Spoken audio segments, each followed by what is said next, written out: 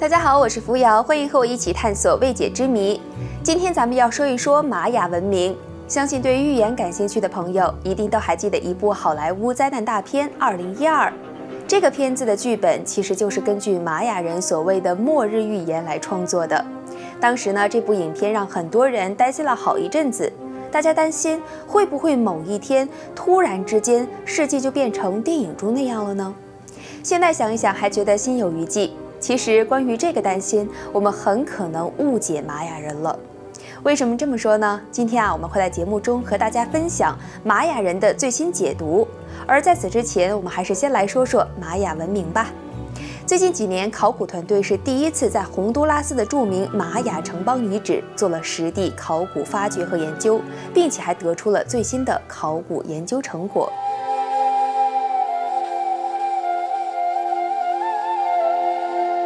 今年四月，生命科学网站报道，美国北卡罗来纳州戴维森学院人类学的名誉教授威廉林格，他领导的研究团队有了一个新发现。他们使用了一种透视，也就是用激光雷达技术来透视了一下墨西哥境内的玛雅遗址所在的这一片原始森林的树冠层。没想到，这次研究居然发现了一个有大量建筑的玛雅遗址。这一下呢，就让科学家们惊呆了。这个遗址的所在地是普克，位于墨西哥的尤卡坦州北部的丘陵地带，而这里也是玛雅文明另一个很重要的遗址，也就是乌斯马尔的所在地。这种激光探测所得到的普克的考古资料，比科学家们在过去二十年收集的还要多呢。这种技术是将激光雷达绑在低空飞行的飞机上，每分钟发射数十亿条这种激光束，然后来探测地面。这种激光呢，会穿过地表的植被。然后碰到这些坚硬的物体，比如说岩石啊，或者是人造结构的时候，就会弹回来。然后计算机呢会通过汇集激光的反弹时间，绘制出一幅地底的这个建制 3D 地图来。利用这项技术，科学家们一次就可以探测数千平方公里的土地。美国德克萨斯大学地理与环境系的助理教授托马斯·加里森就认为说，这项新的研究非常全面，可以帮助我们了解到玛雅人的普遍情况。以及普克这个地区的一些特定习俗。其实，从1940年，考古人员就知道普克地区有四个大型的玛雅要塞，它们的历史可以追溯到公元前700年到公元前450年。目前，世界上对于玛雅文明比较公认的历史分期是从公元前2000年到公元250年，为玛雅文明发展的前古典时期。从公元二百五十年到公元九百五十年为古典时期，从公元九百五十年到一五一一年为后古典时期。那么，如今发现的这一片非常繁荣的地区，它的历史是可以追溯到公元六百年到公元七百五十年，这也是玛雅文明最发达的古典期的末期。专家们发现，玛雅文明所在的这一大片区域非常繁荣，面积大约是两百三十七平方公里。这里有近八千套房屋，每套房子呢还有两到三个房间，还有宫殿、防御设施，一千多个石灰炉，以及复杂的灌溉系统，还有道路系统。而这些建筑大多是砖石结构的，应该说是很高级了。此外呢，他们还第一次发现了梯田。研究人员还在市政和宗教设施等这些建筑上发现了独特的装饰，比如说墙面上的马赛克。柱顶过梁的雕带，还有大量描绘玛雅雨神查克的内容。除此之外，这次探索还有一个突破性的发现，就是我们过去严重低估了玛雅的人口规模以及城市的数量。玛雅的实际人口可能会比以前的估算要大三到四倍。过去呢，专家们都是认为古典期玛雅人最大的城邦提卡尔城面积达到了六十多平方公里，建筑物多达三千个以上。最高的神殿是有七十五公尺，而这样的规模其实就已经让人很惊叹了，是吧？但是如果继续用光达技术再探索下去的话，相信这里还会有更多更多的颠覆我们认知的发现。那么人口数量这件事情呢，也就是给最大的一个谜团又罩上了一层面纱，那就是为什么玛雅人突然从这么繁华的城市神秘的撤出了呢？要知道，根据最新的这次研究，突然消失的玛雅人口的数字比我们之前估算的还要大三到四倍。那么这些人都去了哪儿呢？当年高度发达的玛雅文明存在了大约两千五百年，而他们却突然在公元八世纪到九世纪放弃了这么发达的城市，迁居了，或者说消失了。古典期玛雅文明从此衰落。人们对于玛雅文明的消失有许多假设，比如说干旱、战争，还有外星人说等等。而根据最新的这个光达技术探测之后，人们发现啊，科学家认为其中的一个假说可以排除了，就是对环境管理不善而导致玛雅人消亡的说法。因为科学家们发现，普克地区的玛雅人曾经是非常精心地管理着森林资源和水资源。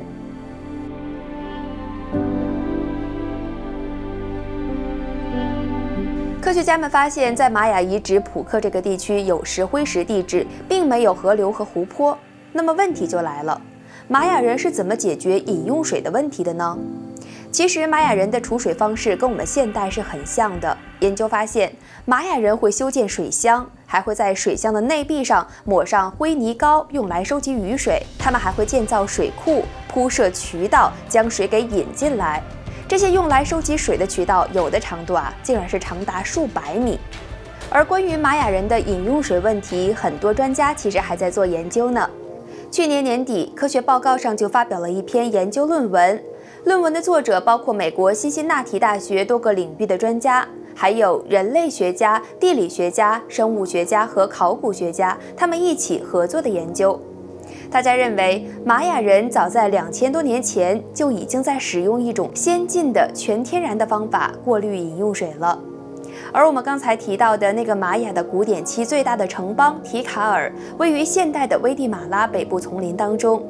而研究人员们居然是在那里的蓄水库里边发现了一个复杂的过滤系统，而这个蓄水库应该就是当时提卡尔的居民重要的饮用水来源了。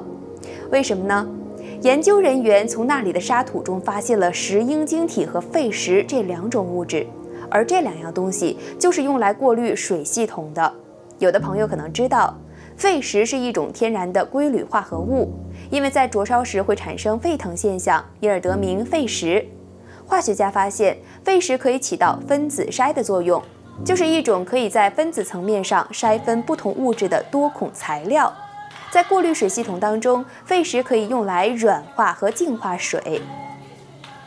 专家们考察之后认为，这两种矿物质应该是当时的玛雅人从远方运送过来的，就是用来建造这样的过滤系统的，帮助当时的玛雅人除去水中对人体有害的微生物、富含氮的化合物，或者是像汞这样的重金属等有毒物质。而这项发现不得不让科学家们惊叹。这样一个今天还在使用的过滤系统，玛雅人竟然在两千多年前就已经在使用了。那么，玛雅文明还有什么其他令人惊叹之处吗？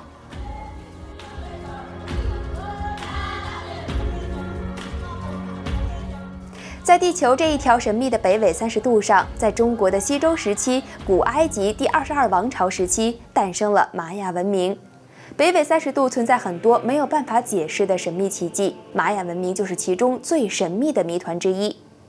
玛雅人是古代印第安人的一支，大约公元前两千五百年，玛雅文明形成雏形，随后发展成为美洲的三大古文明之一。玛雅人在公元初期创造了象形文字，成为世界上最早的五种文字之一。而且，玛雅文字比现在的文字更为复杂。举个例子。英文字母是一维的，只有左右之分；而中文汉字是二维的，有上下左右之分。但是玛雅文字是三维，不仅有上下左右之分，还有远近之分。所以呢，他们的阅读顺序是先左后右，先上后下，先近后远。玛雅人所使用的八百个象形文字，现在大部分已经被语言学家们解读出来了。这些文字主要代表一周各天和月份的名称。数目字，也就是说数字，还有方位、颜色以及神奇的名称。玛雅人还发明了造纸术。据说玛雅纸的做法是用当地的一种无花果树的嫩皮，在石灰水中浸泡，再放在阳光下晒干而制成的，非常结实。玛雅文化留下了许多令人费解之处，像是玛雅处于石器时代，没有铜器、铁器，只懂得运用黑曜石工具、兽骨还有木锄。他们没有机械性的结构，没有使用轮子和车子，找不到其他任何的交通工具，也不懂得骑一些动物来代步。但是，他们却用石头建造出了高大的殿堂、庙宇，很多著名的阶梯金字塔，还有巨大的石阵。玛雅人的建筑物不但气势恢宏，而且富丽堂皇。玛雅文明的建筑工程达到了世界的最高水平。他们对于坚固的石料进行加工，有雕刻的，还有镂空的。玛雅人在天文学方面更有着极为卓越的成就，掌握日食周期和日月运行的规律。还对金星很有研究，他们可以非常准确地计算出金星的周期。在仅有的几本玛雅遗留的文献当中，德勒斯登课本中就有六页准确地计算出金星的位置。玛雅人还在长期的观察之后，算出了金星历年，也就是金星绕太阳一周所花的时间是五百八十四天，而如今现代人测算得出是五百八十三点九二天。我们和玛雅人算出来的结果，每天的误差还不到十二秒。本来呢，我们可以有更多的机会来解开玛雅文明之谜，但是令人揪心的事情在十六世纪发生了。西班牙传教士入侵的时候，他们烧掉了几乎所有玛雅文明的书籍和历史资料，只有四部玛雅手抄本由于流于国外了而幸免于难。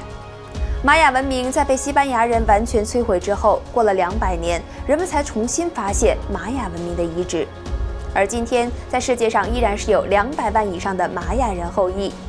但是，玛雅文化的精华，比如说象形文字、天文、历法等这些知识，已经消失殆尽了，没能留给后代。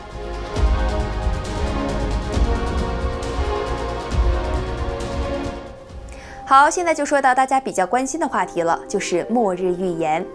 关于玛雅文明，很多朋友最感兴趣的就是他们留下的惊世预言。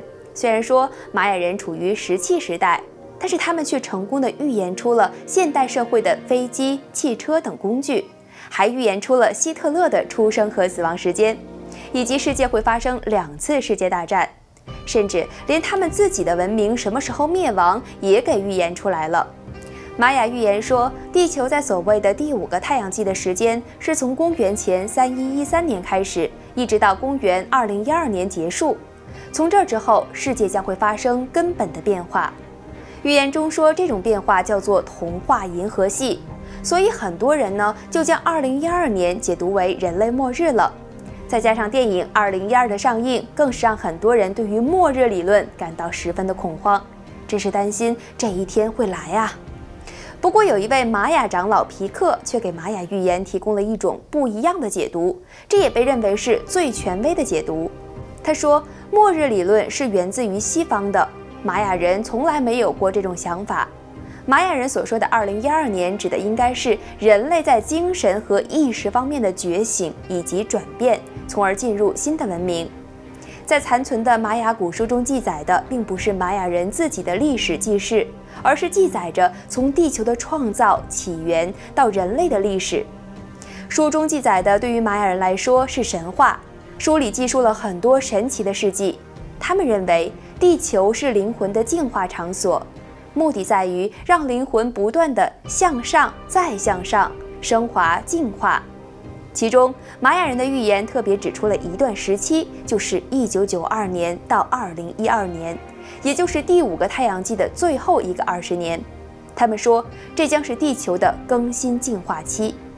而玛雅的一位祭司也曾经在西元七五五年做出了预言，他说，一九九二年以后，人类将会有两个重要事件发生，一个是人类所生存的地球将会被进化更新。另一个是人类宇宙意识的觉醒。预言中说，地球并不是人类所有，但人类却是属于地球所有。这些预言道出了人类与地球的关系，而从中也暗喻着人类的尊贵。人类并不是地球上唯一的高等生物，但是人类能在地球这个进化场所完成灵魂的进化升华之后，会成为宇宙中真正的高级生命。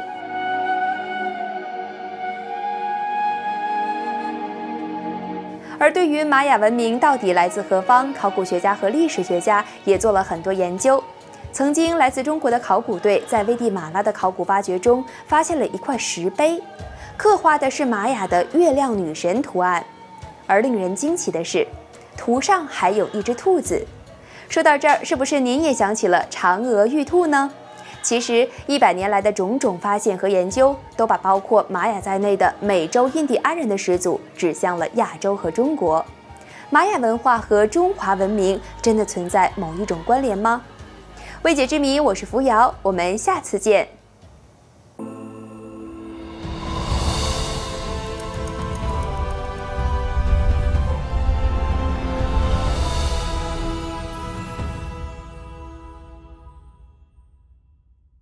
大家好，我是扶摇，欢迎来到未解之谜频道。我们会在这个频道里分享很多的宇宙未解之谜。